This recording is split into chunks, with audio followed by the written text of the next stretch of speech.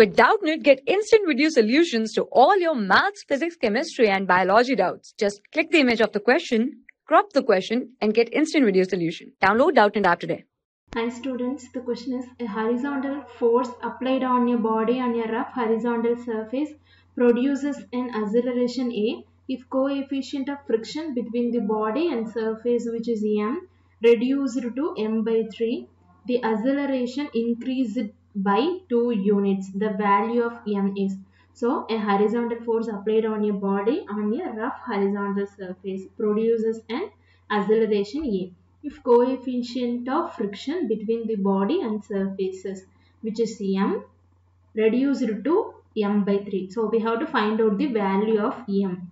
So case 1 a equal to mu g.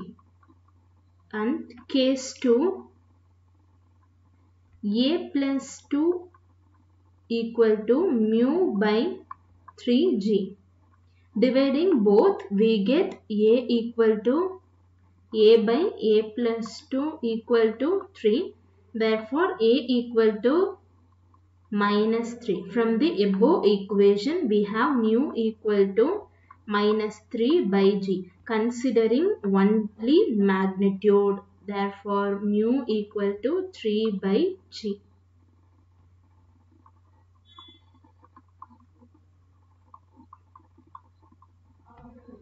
only magnitude. So the right option is 3 by g. The value of m is 3 by g is the right option.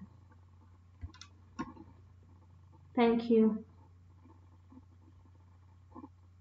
For class 6 to 12, IIT JEE and NEET level. Trusted by more than 5 crore students. Download Doubtnut app today.